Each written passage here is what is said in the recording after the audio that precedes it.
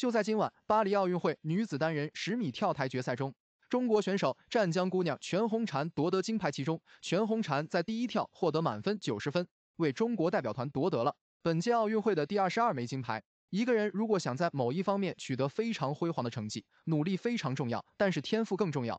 全红婵的天赋是别人追不上的天花板，水花消失术真的像魔术一样神奇。没有一定的天赋，即使再努力也达不到这个水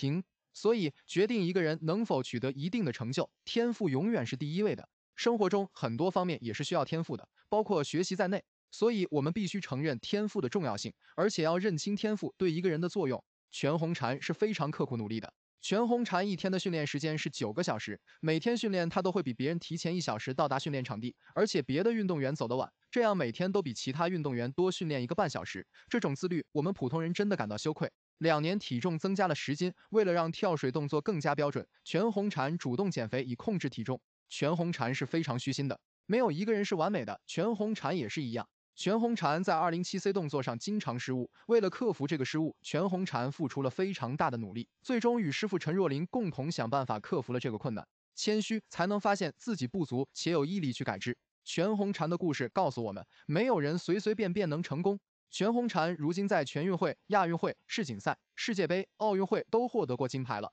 跟他师傅主管教练陈若琳一样，完美实现了大满贯。中国的跳水一直在全世界享有盛誉，这种盛誉是我们一代代跳水运动员通过不懈的努力换取的。每一个跳水运动员都是祖国的骄傲，正是他们孜孜不倦的努力，才换来了我们今天和曾经的骄傲。周继红、郭晶晶、伏明霞、陈若琳、陈潇霞、田亮、吴敏霞、全红婵、陈芋汐，无数跳水健儿数不胜数，为中国的跳水运动谱写了一篇又一篇华丽的篇章。赛后，全红婵抱着教练陈若琳哭了。又跑向陈芋汐，两人暖暖相拥，彼此成就，一路成长，是对手，更是最好的队友。恭喜姑娘们！值得一提的是，上一位在这个项目实现奥运会卫冕的，正是全红婵现在的教练陈若琳。陈若琳分别在2008年北京奥运会和2012年伦敦奥运会获得了跳水女子十米台决赛冠军。